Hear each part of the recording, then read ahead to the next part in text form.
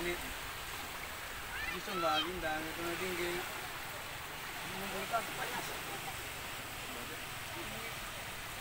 Painom ito sa kuwan.